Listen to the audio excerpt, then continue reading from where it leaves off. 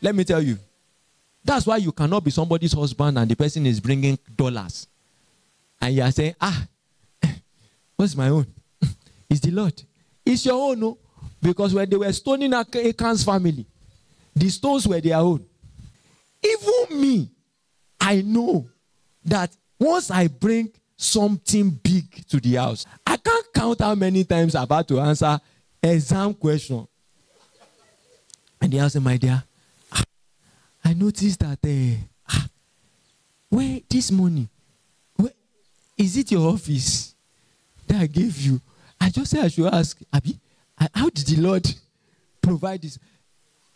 You can't be a virtuous wife and not be asking where money came from.